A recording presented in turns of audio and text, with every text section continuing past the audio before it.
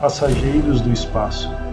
Imagine uma nave espacial que seja muito grande, que possa levar bilhões de seres vivos e inanimados a bordo, que seja veloz, mas que o seu movimento não seja sentido e nem faça barulho.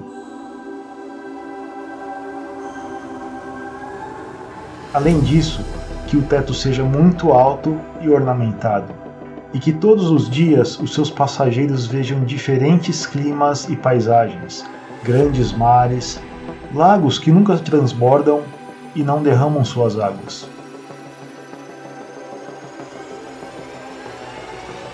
Não seria maravilhosa uma nave espacial assim? Imaginamos. Pois bem, este mundo criado por Deus é assim. De manhã, vamos ao trabalho e quando voltamos para casa a encontramos no mesmo lugar. Mas a Terra viajou mais de um milhão de quilômetros ao redor do Sol conosco e continua girando. Então, o que é a Terra senão uma nave espacial magnífica? Embora seja enorme e esteja sempre em movimento, como é possível essa estabilidade, silêncio e carregar inúmeros seres vivos e aquilo de que necessitam sem um capitão? Sabemos que a velocidade e movimento requerem força e estímulo.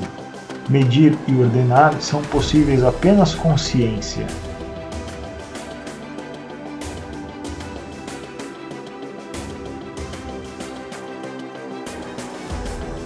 manter juntos bilhões de criaturas mantimentos, terras e águas com seus trilhões de toneladas requer conhecimento, arte e poder infinitos.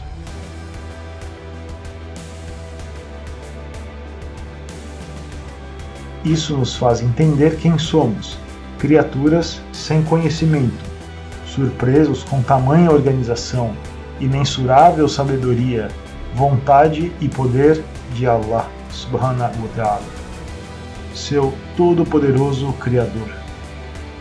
É Ele quem coloca o céu e a lua, a noite e o dia ao seu serviço, girando e em ordem. Sura Ibrahim, ayat número 33.